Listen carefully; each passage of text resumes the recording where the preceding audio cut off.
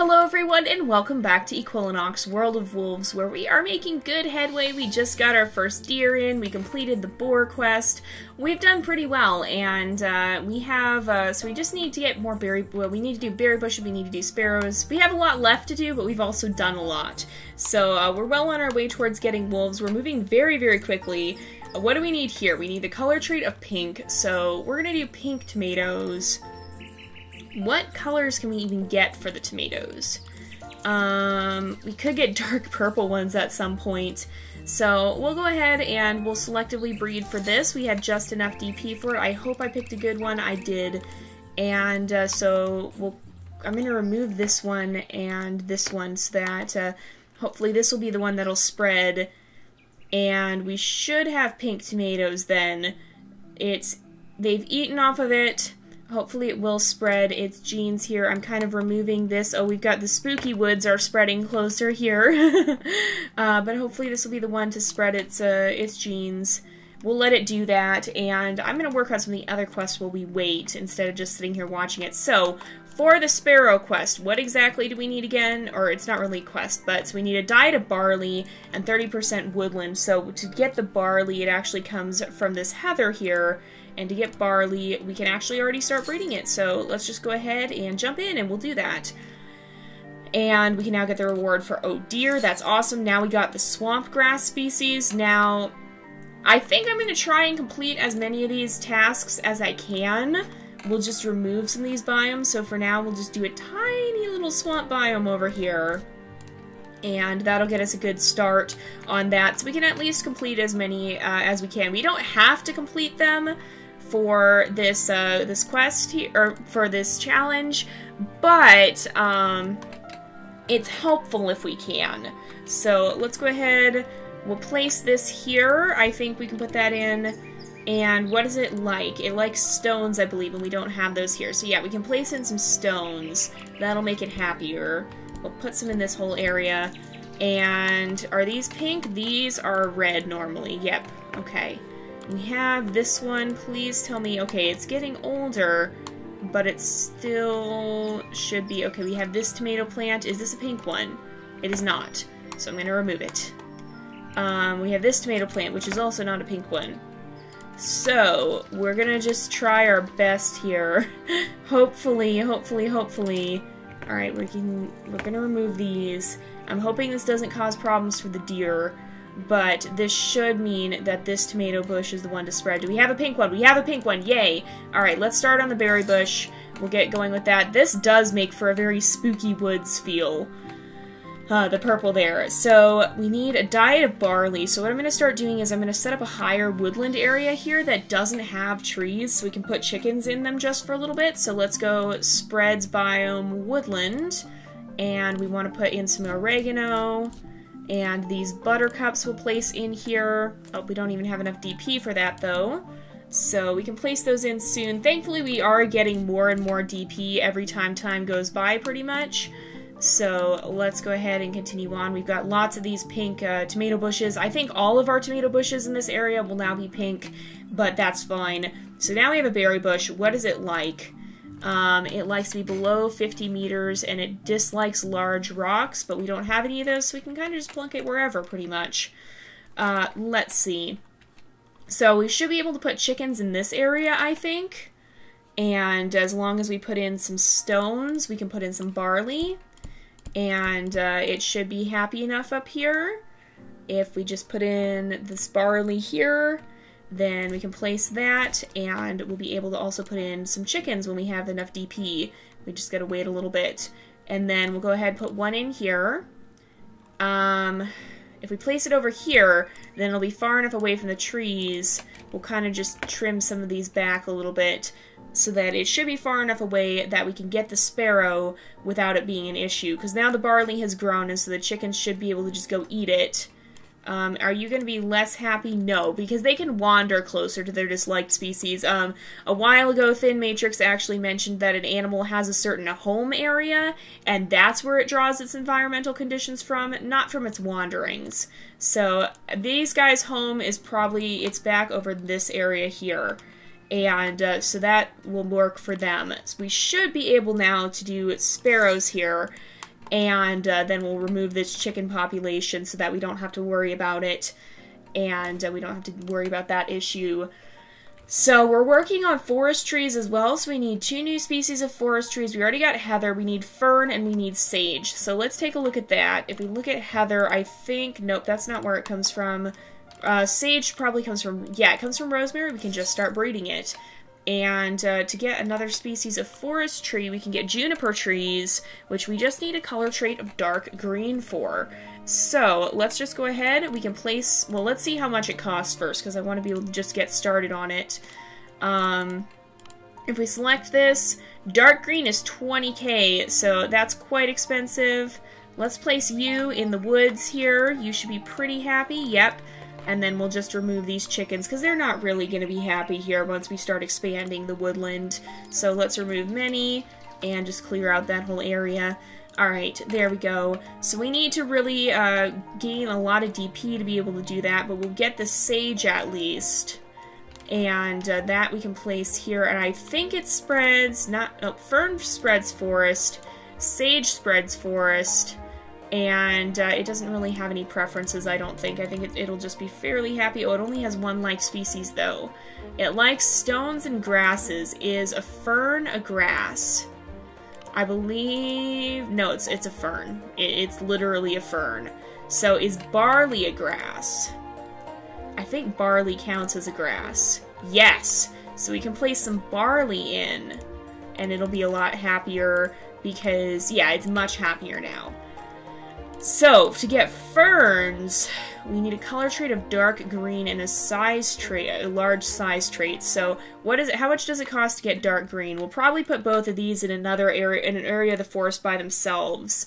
Oops, I want to see how much is the size trait gonna, or how much is the color trait gonna cost us? For dark green, it's only five, and then for um, for size, it's a lot. So, uh, we need to save up some DP. We'll wait on that quest. So, a bird in the hand should be starting to happen. Mary Berry should be starting to happen as well. Uh, when maybe you need to place some deer farther up, but they also might, uh, they, they're within range of it at least. Yes, there we go. So we got, wait, does it have to be eaten by something? It has to be by sheep, okay. So we can place these out Sometimes those quests are a little bit uh, deceptively difficult because it has to be a specific something that um, that eats them. Okay, well what we'll do is we will place some berry bushes up here, and then we will also place sh some sheep up here. I think I might remove some of this barley yeah, I think I'm going to do that. So remove many, because that'll make it more likely that the sheep will use the berry bush. I should have waited until the berry bush was fully grown for that, but I think the sheep will be alright. I think they can eat other stuff too, but hopefully they'll prioritize this berry bush over that. Um, I don't think it's getting too no, it's starting to get hungry. Okay, please, berry bush, be finished soon. Oh, good, okay. So that should start towards that quest. Uh, yes, okay, that'll be good. That We're working towards that one. And uh, we'll go ahead and continue on with this area. This isn't... Oh, that is actually, yeah, that's generating the uh, extra tall, tall trees. So, let's go ahead and we will fast forward here for a while. We'll let ourselves gain some more DP, and then we're going to start working on this other forest biome area. So we can collect the reward for a bird in the hand. That's awesome. And uh, now we have the jungle biome, basically. But what we're going to do first, I'm going to take... So it was rosemary that produces ferns, right? Eventually, I think? Yes, and we need dark green and large size. So we're to do that. We're to do that like... Where do we want to put it? I'll put it over here. No, uh, this is near the swamp, but it won't be a swamp forever. So if we place this here, what is its like species? It's trees, right? Yes. So even though it won't be the most happy thing in the world, we can still go for the dark green color and the large size trait. So if we do that, that'll be pretty good. And then for the tree, what exactly do we need to get the um, the juniper tree? So it needs to be dark green, and it just needs to have animals nearby. Hmm. So, we can put that in. I we want to put it over here. How much does it cost for the juniper tree? Or for the, um, the dark green? If we go dark green, it's 20k. So we need to save up a little bit more anyway. But we should be able to do that. We can at least start getting it in. And that'll make everything happier. We can get the reward for Maryberry. That's awesome. Now we should be able to place in a tall tree and we can just go ahead and selectively breed it to give dark green trees. And so this will be our dark green area. We'll have kind of a different forest area and then we'll settle that in. Um, and this should be able to get, no, it's not quite able to get the uh, fern. This one can though, so we'll start on that. And we'll have this just be a darker area. so we'll be able to work on that. And then we'll put animals over here at some point as well. We'll put boars in. So what? These guys are, I think they're natural color two, I want to say, or they're natural color one. Okay, so we can maybe put the, um, well, we'll just see what color we get because sometimes it has uh, different ones. So let's place one of these over here because I think it'll be happy, right? Yeah, it'll be fine. Now, what I want to do, we can put in We'll put in some cedar trees over here as well because uh, we want to have the boars and we want to make them pretty happy. Uh, actually, maybe not. Maybe we won't. Maybe we'll just put sheep. We can put an apple tree here. And yeah, that'll be fine because then what we can do, we'll fast forward, we'll, we'll let it grow a little bit and then we'll put a sheep there. Actually, we can fix this problem already because we can just stick a sparrow in and then that'll make this happier because it likes animals. And we can just let this continue to spread as it grows here. So I'm going to move some of these. I want to transplant that up here, and that'll help. And we should be pretty good. So once this apple tree grows up, it'll help. It's just slow right now because, yeah, its suitable biome is still fairly low. We could put in, we have sage, we could put in ferns. I believe they also spread it not yucca, ferns. Um, they do spread forest biome, and they will fit in nicely here.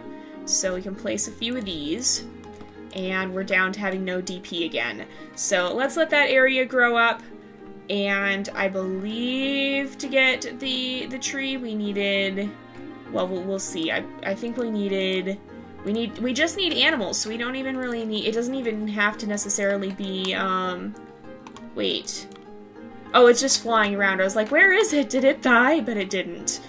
Um, let's also put down some sparrows here, because that'll make the wobbly tree population a lot happier. And uh, they can start nesting over there. For the most part, though, things are going fairly well. So what other quests do we have? We're working on this one. We're almost done with that one, actually. But we also needed uh, guinea pigs and potatoes. So Potatoes, I believe, actually come from tomatoes in this. If we look at this, that is a red tomato still, so apparently we do still have them. If we look here, no they don't. Okay, what do, uh, what do potatoes come from in this? Uh, it's hard to keep it all straight, but, uh, okay, oh, they come from sage, that's right, I forgot about that. Yeah, it makes sense. I guess they wouldn't come from fruit bushes because they're, they're root vegetables, they're not fruit. Um, if we come over here, we have sage. We need an Acer tree, and to get an Acer tree, we have to... How do we get those? I don't remember these. Well, I do remember them, but I don't remember how we get them. Um... Juniper trees... I think they might um, be what unlocks the Acer tree.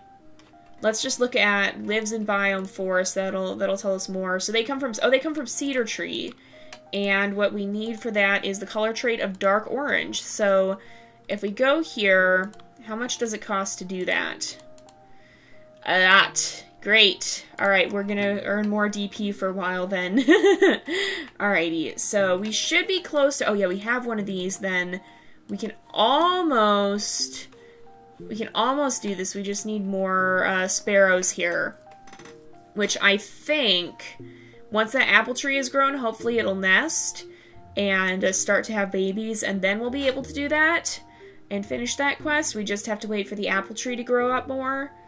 We could also, oh, you know what we could we could place here? We could kind of uh, kill two birds with one stone. We could put in a guinea pig, Is this almost fully grown? It's almost fully grown. So yeah, we can put in a guinea pig right here. What is its other liked species? Um, herbs and flowers. So what, uh, what forest flowers do we have? Lives in biome forest. Uh, buttercups. No, those spread woodland. Uh, heather is a flower, and it spreads forest biome, and it's not going to like to live up here. Okay, great. Um, I'm sure... Okay, pansies come from daisies. So what do we need for a pansy? If we look here at a daisy, what do we need for that? Nope, that's not what I wanted to click. I wanted to click... Okay, so if we place a daisy in the forest, we can start getting pansies. We'll place a daisy here. We'll start unlocking the pansies. Hopefully this won't spread too much. We'll just remove them all when we're done. But that'll make our guinea pigs happier. And uh, that'll improve that. But these guys can eat from there. We should see our sparrow start to nest pretty soon. Probably. Or is he? Yeah, already nesting. Yes, and we got pansies. So let's place those here. Should be pretty happy, right? Yeah, okay. And then let's remove many because these spread grassland. We're just going to get rid of all the daisies. Now we should also be able to start working on the juniper tree. And um, we should be able to take a cedar tree and get dark orange pretty soon, actually. Yes, so we'll do that. And then I believe, okay, oh, we need more sage now. No! All right, now let's, or no, we, we can't, yeah, we just have to be able to get the dark orange. So we're not even that close to that yet. Wow, okay. Let's get this, and we'll go check on the juniper that we got soon. Let's buy this, and hopefully this isn't, yeah, it's, it's still fine. We'll, we'll be able to get those, and we'll place these, because I think if we look at, let me just check on the Acer tree, I think the only thing it doesn't like is tall trees. Yeah, so we'll be able to do that. We can place this, uh, this tree down here, and we can place the Acer trees up here, because I think they like being high up, if I remember correctly. Uh, or no, they like being a little lower down. So wherever we place them, we'll put the um, the cedar trees we use to make them too. We can maybe put them... Where do we want to put them? We don't have any great areas for them. We, we, could, we could stick them over here and just be careful with our tall trees. So we have... Oh, we got forest flora and fauna. And we just need red mushrooms. So to get red... Or, well, I think we need more than red mushrooms, but we need them at least. Um, no requirement. Red mushrooms, where are you? Red mushrooms are here. They come from button mushrooms, predictably. So let's see. We have mushrooms over here.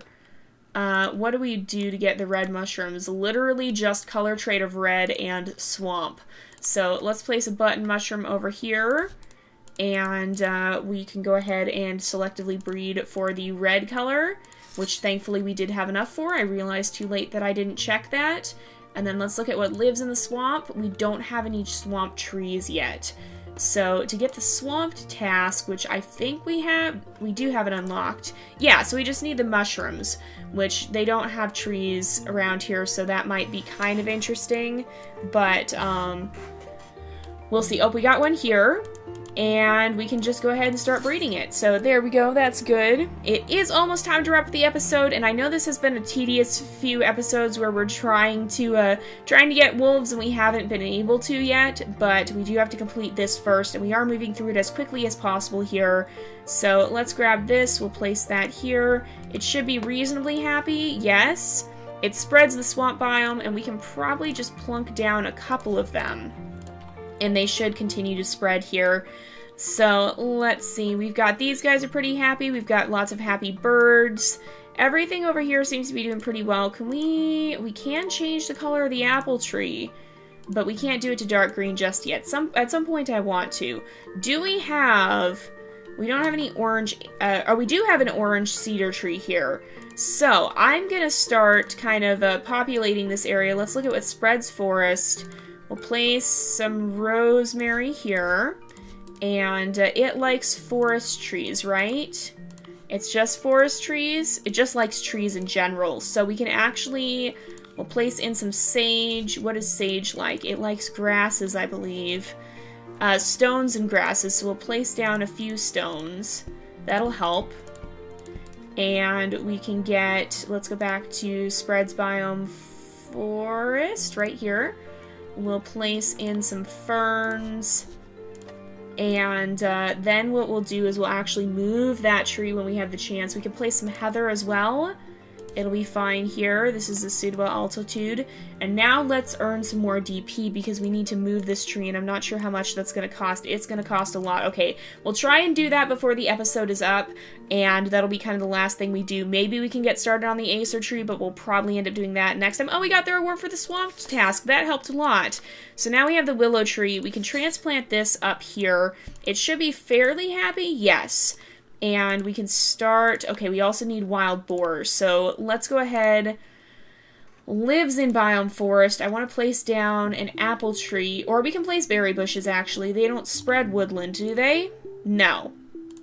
Uh, but we can place these down and these will be a little bit easier to maintain for that. But I also wanted to see what this most recent task we got, or no, we got the um. Oh, we finally have mountaineering. Okay, so we're getting we're getting closer to being able to have wolves. You guys, we'll probably have it by the end of uh by the end of the, the fifth episode. I would imagine we can probably do that.